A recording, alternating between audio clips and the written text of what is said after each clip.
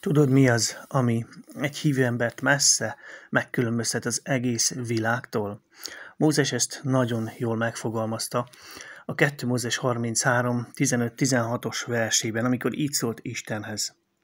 Ha te magad nem jössz velünk, akkor ne is vigyél minket innen tovább. Hiszen mi másból lehetne tudni, hogy én és a néped elnyertük jó indulatodat.